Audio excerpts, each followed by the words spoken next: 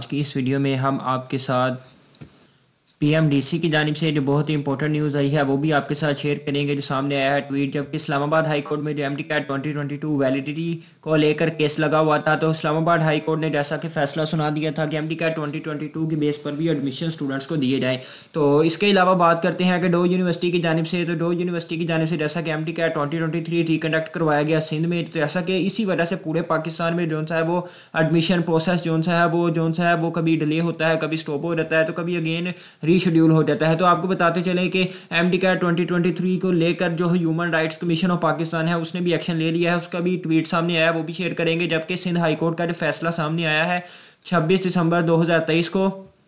उसके हवाले से स्टूडेंट्स जोन से हैं वो प्रोटेस्ट कर रहे हैं स्टील जोन से वो कराची प्रेस क्लब के बाहर, जबकि बदीन और इसके अलावा जगह जोन से जोन से हैं वो स्टूडेंट्स मुजाहरे कर रहे हैं। तो इस हवाले से स्टूडेंट्स का कहना है कि हम जोन से वो सिंध हाई कोर्ट के ऑर्डर्स को मानने से इनकार करते हैं कि सिंध हाई कोर्ट ने ये कह दिया है कि अगर कुछ सौ स्टूडेंट्स ने फ़ायदा भी उठा लिया है तो इससे क्या होगा कि हमें इकतालीस हज़ार स्टूडेंट्स का फ्यूचर कैसे उनको अगेन एम डी का डिकंडक्ट करवा दे? तो ये कहकर जो सुप्रीम सिंध हाई कोर्ट के जज साहिब थे, उन्होंने जोन सी वो तमाम दरख्वास्तें खारिज कर दी थी। तो इसी को लेकर जो पीएमडीसी का नोटिस सामने आया, वो भी आपके साथ शेयर करेंगे। तो आपसे रिक्वेस्ट है कि वीडियो करने तक लाजमी देखिए। और अगर आपने चैनल अलसलात ऑनलाइन अकेडमी को सब्सक्राइब नहीं किया तो लाजमी तौर पर सब्सक्राइब कर लें ताकि तमाम मेडिकल और डेंटल कॉलेजेस के एडमिशन के रिलेटेड तमाम लेटेस्ट इन्फॉर्मेशन आप तक पहुँच सकें। तो जैसा कि सिंध हाई कोर्ट का जो ऑर्डर्स आए थे कि एम कैट का रिकंडक्ट नहीं हो सकता और सिंध हाई कोर्ट के जज साहब ने यही कहा था कि अगर कुछ स्टूडेंट्स ने फ़ायदा उठा भी लिया है तो फिर हम क्या करें? तो उन्होंने ये कहकर जो है वो केस खारिज कर दिया और उसके बाद जो उनसे वो तमाम एडमिटिंग यूनिवर्सिटीज़ ने अपने अपने एडमिशन प्रोसेस को वहाँ से ही स्टार्ट कर दिया। तो आपको बताते चलें कि जो पीएमडीसी है तो इस वाले से एक बहुत ही इंपॉर्टेंट न्यूज़ सामने आई है। जैसा कि एक स्टूडेंट्स ने किया था इस्लामाबाद हाई कोर्ट में कि जो M D CAT twenty twenty two है, वो पहले दो साल के लिए वैलिड था तो अब भी इसको दो साल के लिए वैलिड होना चाहिए कि ट्वेंटी ट्वेंटी थ्री में इसकी बेस पर एडमिशन मिलने चाहिए। जबकि पी एम डी सी ने ये अपने जो से रूल्स एंड रेगुलेशन से इस बार M B B S B D S admission में उन्होंने कहा था कि सिर्फ़ और सिर्फ़ M D CAT twenty twenty three ही वैलिड होगा इस बार एडमिशन लेने के लिए, क्योंकि वो पहले जो सा ट्वेंटी ट्वेंटी टू वाला एम डी कैट था, वो पी एम सी ने कंडक्ट करवाया था, क्योंकि अब जो सी वो पीएमडीसी बन चुकी है।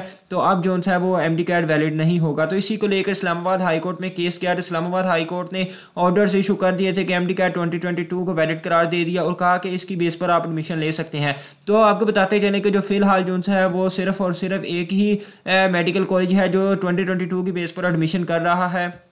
तो आप देख सकते हैं कि Abbottabad international medical and dental college zone सा है तो इसने जोन सा है वो M D CAT twenty twenty two की बेस पर जोन सा है एडमिशन स्टार्ट कर दिए हैं तो आप यहाँ पर M B B S B D S में तीन जुलाई, जनवरी दो हज़ार चौबीस तक एडमिशन के लिए अप्लाई कर सकते हैं। तो आपको बताते चले कि इनका एम बी बी एस का ट्वेंटीथ बैच है, जबकि बी डी एस का फोर्टीन इनका सेशन जो सा है वो जारी होने जा रहा है। बाकी इन्होंने कहा कि एज़ पर Islamabad high court order number three four four seven dated eighth December 2023 तो उन्होंने कहा कि हमने इस ऑर्डर के तहत जो सा वो M D CAT twenty twenty two की बेस पर एडमिशन स्टार्ट कर दिए हैं। तो इसकी बे आपको बताते चले कि जो पी एम डी सी है, Pakistan medical and dental council तो इन्होंने जो सा है वो भी अपना केस दायर कर दिया है। तो इस वाले से भी आपको बताते चले कि इस्लामाबाद हाई कोर्ट के खिलाफ जो उनसे ऑर्डर्स आए थे कि M D CAT twenty twenty two को भी वैलिड किया जाए एडमिशन दिए जाएँ।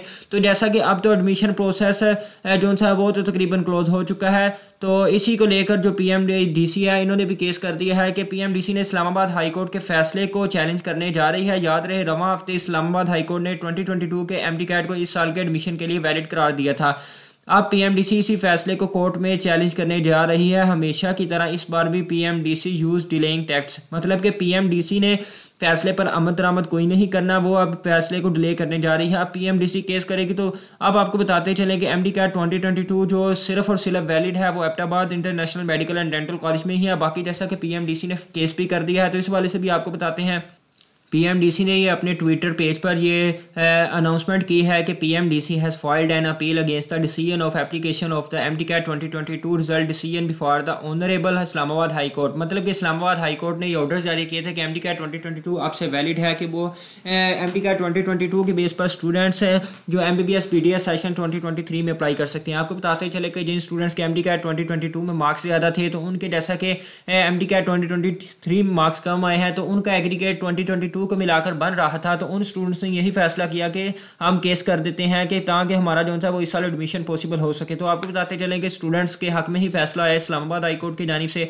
तो इसी को लेकर अब पी ने उसको चैलेंज कर दिया है कि ऐसा नहीं हो सकता। बाकी मुश्किल ये है कि पी अगेन से एडमिशन स्टार्ट करे। बाकी ये तकरीबन इम्पॉसिबल सी बात है, जैसा कि यू ने अपने एडमिशन प्रोसेस कंप्लीट करने की तरफ़ जा रही है। अब उनकी कल थर्ड लिस्ट लग जाएगी। जबकि के की बात करें तो वहाँ पर भी जो एडमिशन का प्रोसेस स्टार्ट हो चुका है और तकरीबन टू हंड्रेड के करीब सीट्स उनकी फिल हो चुकी हैं। तो बाकी डो यूनिवर्सिटी की जानब से जैसा कि आज लिस्टें रिमूव कर दी गई हैं तमाम लिस्टें तो इस हवाले से काफ़ी तशवीश का इजहार किया जा रहा है। तो बाकी स्टूडेंट्स का काफ़ी तशवीश का इजहार इसलिए भी है कि आप देख सकते हैं कि जो human rights commission of Pakistan है, इसने भी अपना ट्वीट जारी किया है सिंध हाई कोर्ट को लेकर कि सिंध हाई कोर्ट ने अच्छा नहीं फैसला किया कि स्टूडेंट्स का पेपर लीक हुआ है। तो उसके जो स्टूडेंट्स के हक में फैसला होना चाहिए। तो आपके साथ वो भी ट्वीट शेयर करते हैं। तो आप देख सकते हैं कि human rights commission of Pakistan के ऑफिशियल ट्विटर पेज से ये ट्वीट किया गया है। थोड़ी देर पहले ही किसी हाई कोर्ट ने मंगल को पेपर लीक के इल्ज़ाम पर national medical and dental college दाखिला test M T twenty twenty three को मअतल करने की दरख्वास्त मुस्तर कर दी। National medical and dental college admission test M CAT का दोबारा इम्तहान, सोशल मीडिया पर सवालिया पर्चा लीक होने के बाद मुतनाज़ हो गया था। Human rights council of Pakistan समझती है इस तरह के फैसलों से हज़ारों नौजवानों के मुस्तबिल तबाह होते हैं। अक्सर तलीमी इदारों में रिश्वत और इम्तहान में नकल के मेरिट का कतलेआम करने के सिलसिले को ख़त्म करना चाहिए और मुल्क के ज़िम्मेदार अदारे इस पर नोटिस लें। हुई रिजेक्ट इस हाई कोर्ट डिसीज़न तो आपको बताते चलेंगे ये जो सा है वही रिजेक्ट हाई कोर्ट डिसीज़न ये जो सा है, वो ट्विटर पर ट्रेंड बन चुका है। आप देख सकते हैं ट्विटर भी चेक कर सकते हैं, सकते हैं। और आपको बताते चलें कि जो से हैं वो स्टूडेंट्स हैं, सिंध में वो जगह जगह एहतजाज रिकॉर्ड करवा रहे हैं। आप देखें कि बदीन में भी जो स्टूडेंट्स हैं नेशनल प्रेस क्लब के बाहर एहतजाज रिकॉर्ड करवा रहे हैं। तो आपको बताते चलें कि जो ट्वेंटी सिक्स दिसंबर को मंगल वाले दिन जो हेयरिंग हुई थी, सिंध हाई कोर्ट में लास्ट हेयरिंग थी M D CAT twenty twenty three को लेकर के एम डी कैट का पेपर लीक हुआ था। तो इस हवाले से एम डी कैट टेस्ट में भी एक आदमियों से मुतलिक दरख्वास्तों पर समात हुई। तो ये जियो न्यूज़ के आप देख सकते हैं कि गैस पेपर लीक हुआ है ओरिजिनल पेपर लीक नहीं हुआ। एडिशनल एजी सिंध ने कहा है। तो आपको बताते ही चलें कि स्टूडेंट्स ने जैसा कि जवाब पेश किए थे कि जो एम डी कैट का पेपर है, वो व्हाट्सअप ग्रुप्स में लीक हुआ है। जैसा कि स्टूडेंट्स के बाद का प्रूफ भी थे और आपको बताते चलें कि इस बार वाकई जे एस एम यू की बजाय डोए ने जो एम डी कैट रिकंडक्ट करवाया है, इसमें काफ़ी हद तक पेपर जो है वो लीक हुआ था, जिससे स्टूडेंट्स ने काफ़ी हाइस्ट मार्क्स अचीव किए। और इसका आपको बताया भी था कि आप जाकर चेक कर सकते हैं, जैसा कि स्टूडेंट्स की लिस्टें लग चुकी थी, शहीद मोहतरमा बेंदिर भुट्टो मेडिकल यूनिवर्सिटी की डिस्ट्रिक्ट वाइज लिस्ट चेक करें या शहीद सुरफकार अली भुट्टो मेडिकल यूनिवर्सिटी की लिस्ट में आप जो है, वो सिंध के सेक्शन चेक करें तो स्टूडेंट्स के 194 190 अबव काफ़ी स्टूडेंट्स के मार्क्स थे। तो आप देख सकते हैं कि स्टूडेंट्स ने कहा है कि the concluding merit for districts in interior Sindh is approximately 88 से 89 परसेंट मतलब कि इस बार वाकई जो सा है वो डिस्ट्रिक्ट जितने भी है इंटीरियर जो सा है वो सिंध है जो ट्वेंटी थ्री डिस्ट्रिक्स आते हैं इंटीरियर सिंध में तो वहाँ पर जो मेरिट इस पर तकरीबन नाइन्टी परसेंट के करीब है कि क्लोजिंग होगा। जो M D CAT twenty twenty three इस दो यूनिवर्सिटी ने कंडक्ट करवाया है तो इसके अकॉर्डिंग अगर देखा जाए तो ये काफ़ी जो है, वो पूरी तारीख में हाईएस्ट मेरिट है।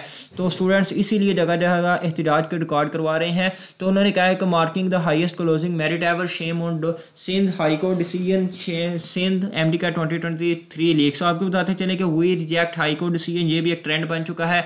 तो इसको लेकर ही आई थिंक यही कहा जा सकता है कि डो यूनिवर्सिटी ने अपनी लिस्टें रिमूव कर दी हैं, जबकि Liaquat university medical health sciences की जानब से भी कुछ इसी तरह का रिस्पॉन्स सामने आ रहा है। बाकी जैसा कि इनकी जानब से ट्वेंटी दिसंबर का टाइम दिया गया था कि वो अपनी करेक्शन वगैरह करवा लें। प्रोविजनल लिस्ट अगेन जारी की गई थी। बाकी डो यूनिवर्सिटी की जानब से आपको बताते चलें कि एक ये किया गया इकदाम कि उन्होंने एम कैट का रिज़ल्ट तो जैसा कि केस अपने हक में ले लिया। तो बट आपको बताते चलें कि उन्होंने जो सा है वो एम डी कैट के अलावा बात करें F S C twenty twenty one जो कोरोना का बैच था, उनके मार्क्स जो मैट्रिक के बच्चों की बात करें तो उनके ग्रेक्स मार्क्स को कट कर दिया। तो जबकि दूसरी जानब एफ़ एस सी की बात करें तो उन्होंने उनके सिर्फ़ और सिर्फ़ इलेक्टिव के मार्क्स काउंट किए हैं। तो ये एक जो इन्होंने चेंजिंग की थी, जो प्रोविजनल लिस्ट लगी थी जिससे आज स्टूडेंट्स अपना देख सकते थे मेरिट जबकि पहले जो सी एलिजिबिलिटी लिस्ट लगी थी, सिंध में जो तो उसके अकॉर्डिंग और जो सी अब लिस्ट लगी है, इसके अकॉर्डिंग काफ़ी स्टूडेंट्स का मेजर डिफरेंस आया है। काफ़ी का मेरिट जो है, वो पहले बन रहा था, अब नहीं बन रहा। तो इसको लेकर भी काफ़ी डिस्टर्बेंस हुई थी।